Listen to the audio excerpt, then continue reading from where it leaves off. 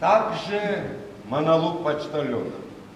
Люди, вот, чтоб вот вообще не говорить это все, вот как-то монотонно, потом получается это от сердца. Он говорит своим друзьям, односельчанам, и как только это в патетику идет,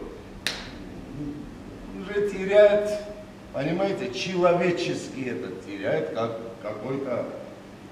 Вот так же ну, у Бабилона.